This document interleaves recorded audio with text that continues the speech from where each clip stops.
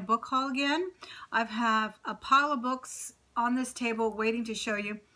And um, I'm home for a couple of days. I've been home. Today's Tuesday. I've been home since, well, I've been home for a couple of days due to some um, flooding that we had. Fortunately, we haven't suffered uh, too much damage here at all. Unfortunately, I can't say the same, the same for some of my friends and neighbors who have had some damage to their homes. So, of course, I'm keeping them in my prayers. But um, I am home and taking advantage. I'm going to be listing. I'm going to be doing some videos. So I hope I haven't taken too long with all of these videos. Please stay tuned for my Q&A finally going up today as well. Right after this one, I'm going to do the Q&A. So let me start before I, um, I get uh, too backtracked. All right, these are some books that I picked up. Different prices. Most of them are not over $2. Some of them were as little as 25 cents because some of them are from that new thrift store that I told you I discovered.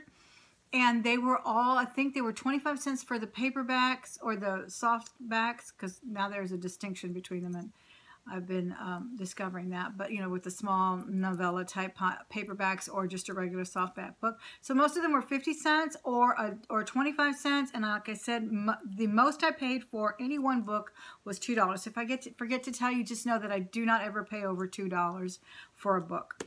These were actually from that new thrift store and they had a whole section of this philosophy, psychology section. And most of these rung up at a really good price for me. This one is Discover the Power of Meridian Tapping. And this amazing technique could change you and the world. It says here, tapping is a gentle, easy to learn, long-lasting, has proven remarkably effective in reducing and eliminating phobias and stress. People love reading about this stuff, guys. So I got that. Then I got the Book of Bread. I always pick up bread making books. They do well. Some of them do really well. And so don't leave those behind. Here's one that's actually ringing up for over $55. This one is Why Race Matters. And again, this was in the humanities philosophy area. Why Race Matters in South Africa. Sorry, that's the full title. Why Race Matters in South Africa. So brand new book rung up at about 10. Che Guevara, a little uh, mini biography here. And then Best Love Poems. Uh, this one has everybody, everybody from Eliot to Yeats and just a whole bunch of beautiful poems there. Nice hardcover as well. All right, and then I have Unsettling Settler Societies, Articulations of Gender, Race, Gender, Race, Ethnicity, and Class. Again, these are like um, they're really like textbooks, companion for the textbooks in uh, obviously humanities, some kind of sociology study, anthrop anthropology, or uh, sociology rather. So these are all ringing up for me over $20. Very, very good prices on some. Like I said, that other one was 50 the connections between language and reading disabilities always get these teaching manuals teacher resources do really well i'm probably going to insert a picture of one that i didn't even get to show you because it's sold and it was called the art and science of teaching Okay, here's another one, Race and Social Analysis. These were all the ones I got for about a quarter. They were really good deal. Unless they were marked, she was letting me have them for a quarter. And then the hardbacks were uh, 50 cents. Elements of Successful Teaching, General and Special Education Students, IEP Resources. So this is a really, really good resource book and as well. And this is Great Experiments with Light. Here's one that rung up at about 35 or $40. This one is called New Studies in Ethics, and it's a vintage book. I had to just take a picture of it. It doesn't even have an ISBN number or anything, but it did uh, come up on Amazon. And it is by Warnock, Contemporary Moral Philosophy. These vintage books on philosophy, sociology, psychology, they are, though they, their theories may have been proven otherwise, they are really still relevant today, definitely. Here's another teacher resource, teacher edition literature activity book. Don't forget to fly is the name of that one. Got this magazine, The Hobbit. Did I, did, guys, did I ever tell you that I sold the first issue ever of Martha Stewart's Living? I sold it for 65 That was one of my very first non-textbook sales on Amazon. It was, um, yeah, I sold it for $65, and I think they were going as high as 125 at one time. So pick up those magazines. They are definitely collectible, especially things like Martha Stewart or what was the other one I sold the other day? Uh, the Mary Engelbreit, or I, I think it's Engelbreit, and Mary Engelbreit are very collectible. Okay, then I got this book, the Macmillan, Macmillan Book of Business and Economic Quotations with more than 5,000 quotes from Machiavelli to Drucker, organized into 62 categories. 62 categories. And then I got this Winter Horizon book. Also, here's a really nice one that I liked. And this one is called Children Like Me, a unique celebration of children around the world. And I just like this to give to, uh, I'm starting to collect books for my grandkids or to have in my classroom. Either one. I brought, I'm starting to bring back all my books from school. Oh my gosh, I have filled one whole bookshelf, a tall bookshelf. The Real Mother Goose and uh, Bubba the Cowboy Prince, A Fractured Texas Tale. John Jones. These are in such great condition, guys. They still can bring you $10 easily on Amazon. How Leo Learned to Be King. I was reading that totally wrong. How Leo Learned to Be King. Look at that pretty illustration. Beautiful book. I really love these vintage type uh, illustrations. Look at that, isn't that beautiful? All right. Good Night Gorilla. And I do check these uh, as well. I check their prices because my grandchild is coming from Chicago in May because my eldest daughter is graduating and they're coming to the graduation. And I can't load them down with all these books sometimes as much as I want to. So I'll bring some or when I go and they'll take a few, but you know, the, those suitcases get kind of heavy. So sometimes I still ring them up on Amazon just to, out of curiosity, see what they're selling for. And they do so well. Uh, most of these kids books, especially these scholastic books, are things that people know that are super expensive at, at the book fairs and things, they'll pick them up for, you know, a good $10 or whatever on Amazon. Uh, that's what a friend is. Nice chunky little book there. Oh, here's a beautiful little vintage golden book, Dr. Dan. Love that. Let's look at the illustrations. I, I showed you guys that table I did with old books, right? I, uh, I still have it in my piano room. I love it. But I tore up a bunch of these books and uh, made a really pretty coffee table. If you haven't seen that um, decoupage video, you should check it out. I think it's pretty cool because I just love it. But I got like uh, Puss in Boots and uh, Pinocchio and all of these uh, vintage illustrations and put them on that beautiful little table I made for my youngest daughter when she was when she was a little tot. All right, then I got this one, this Do Monkeys Tweet. And it is an old library book, discard. Love it. Great little book for um, emerging readers. All right, Corduroy's Trick or Treat. I Can Read, Biscuit Takes a Walk. The Ark. And then here's another one that's usually collectible. It's Nintendo, WWF, and I have sold these for as much as $20 on Amazon. So anything with WWF and uh, Nintendo, guys, they're sellers. All right, let's skip around to some adult books before I go back to the kids. Not for much, but I thought it'd be nice in my if I ever get the position that I want as an English teacher is to just have this in my classroom and maybe give it away to someone who is interested. I love giving away books to students. I don't know how many of you teachers do that, but there is nothing more thrilling to me than for one of my students to ask me if I can give him one of the books and one of my books, and I always say yes. I just can't say no to someone who wants it. The Metropolitan Bakery, another adult book. I actually am going to take uh, one of my globes to one of my students who said, where did all the globes go when I started moving my things out?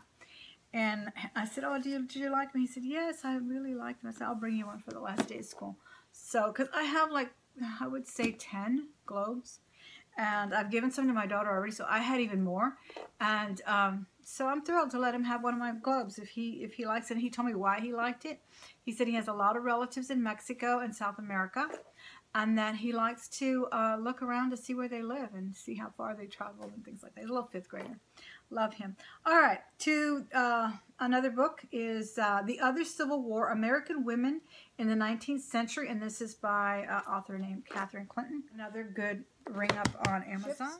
So it's all kinds of historical anecdotes and uh, pictures of uh, famous and not so famous clip clipper ships. Oh, here's a nice one that I think you should see because it's ringing up for $50 on Amazon and that's probably because this one was $2.99 but it was uh, a little bit less than that because the green tags were half not half, but 25% off, or is it 30? 30% off at the Goodwill. That's what they do. They do. That's the most we get at our Goodwill, guys, is 30% off, and only on non-clothing items. But anyway, I take advantage. And usually their books are pretty cheap, so This is actually kind of high because I've been getting their books pretty cheap. But this book is ringing up for $50. It's the Luby's Cookbook, and I believe this is the, this one's called Recipes and Memories. I believe this is the second or third edition because uh, Thrifty Treasures, Tanya over at Thrifty Treasures, told us about a smaller Luby's book that's about this size and it's red and it's spiral bound and that one sells for about 80 and I have a copy of that but I will never let it go. It's got some of my favorite recipes especially for Thanksgiving.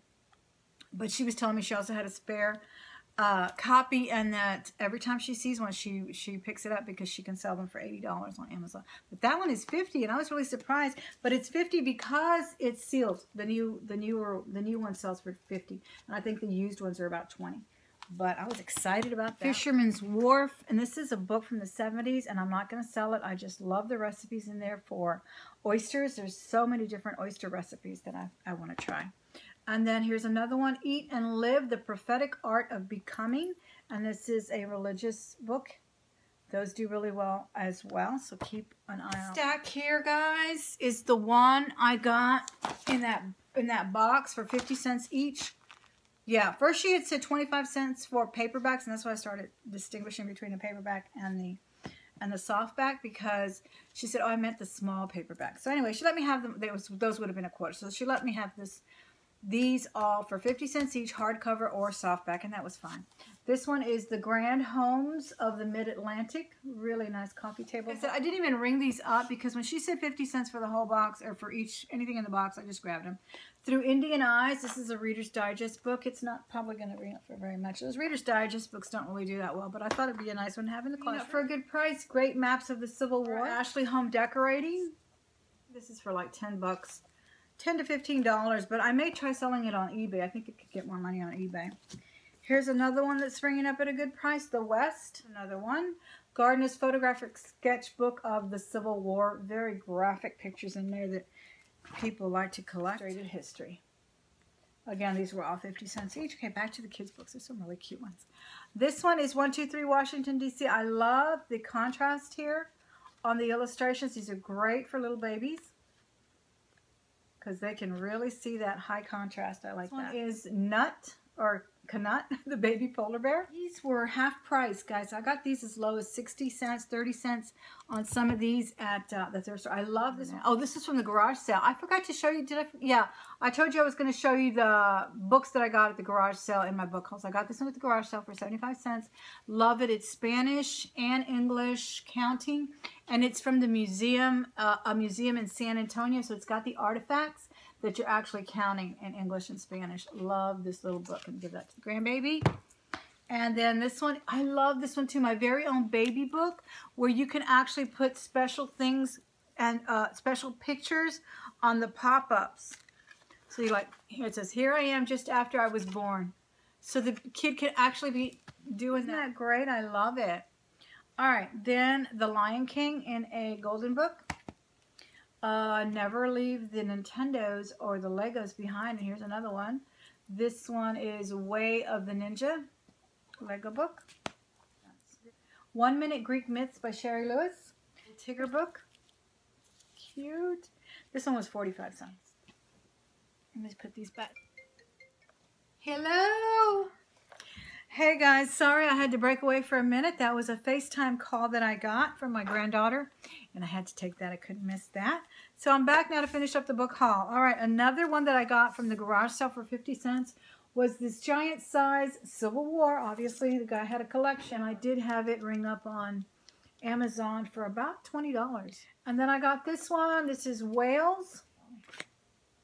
Amazon for me for, I believe, uh, I think it was over $20. It's Arabian Horse World.